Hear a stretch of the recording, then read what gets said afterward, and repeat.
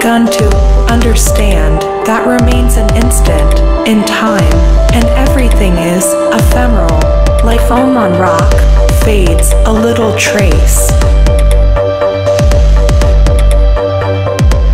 I have finally accepted that it's repeated again as the waves roll over the sand, leaving a trail of water and salt.